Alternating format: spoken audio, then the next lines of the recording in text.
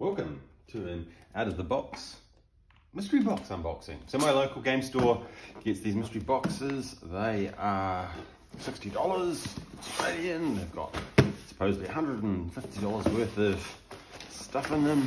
Um, board games, card games, and dings and dents. So I thought this year I would open it up on as one of my unboxings and see what we get. I picked a heavy one, so I'm hoping that there's going to be some kind of... Oh, okay. Oh, yeah. this is pretty good. I've got two goodies. Three. So I've got... Oh. Fog of Love, which I don't have.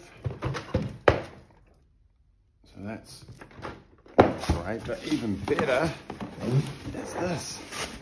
Night of the Living Dead. Zombicide. I do like a good zombie game.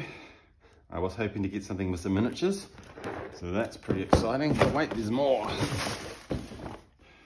Personality incorrect. That looks like a party game. I think that will be going into the regifting pile. But still, and yeah, that is it. So that was my mystery box from Good Games.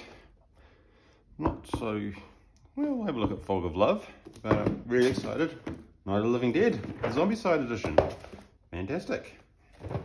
I'll be unboxing those in due course.